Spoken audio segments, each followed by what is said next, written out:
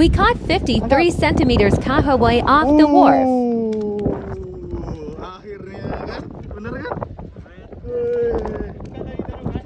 Yeah. Yeah.